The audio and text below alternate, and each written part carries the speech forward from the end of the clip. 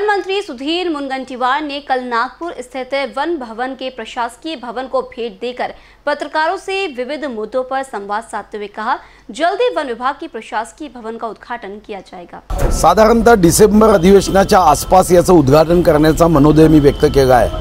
त्या दृष्टीने या इमारतीमध्ये आवश्यक बदल, या संदर्भामध्ये आजचा हा पाहणी दौरा आहे. या प्रशासकीय इमारतीचं एक महत्त्व आहे.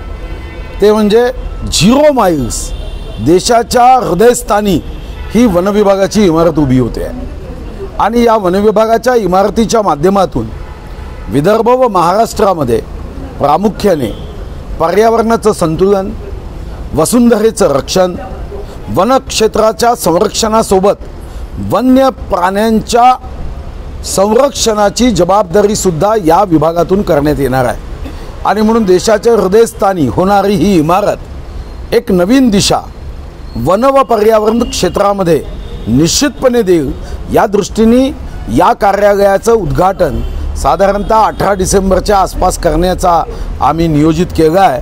आणि त्या दृष्टीने पी डब्ल्यू डी म्हणजे बांधकाम विभागाला पी डब्ल्यू डी इलेक्ट्रिकल विभागाला काही सूचना करण्याची आवश्यकता होती.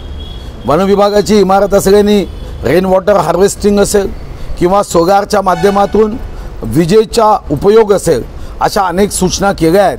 त्या तातडीने पूर्ण व्हाव्या या दृष्टीने आजची पाहणी आहे. आणि मला विश्वास आहे की वन विभागाची आज जी प्रशासकीय इमारत आहे ती भाड्याच्या इमारतीत आहे. कारण नसताना आम्हाला मासिक भाडं द्यावं लागतं आहे आता झिरो माईल्स उदयस्थानी हे इमारत एक या क्षेत्रामध्ये निश्चितपणे वनक्रांती करण्याच्या दृष्टीने तयार राहील.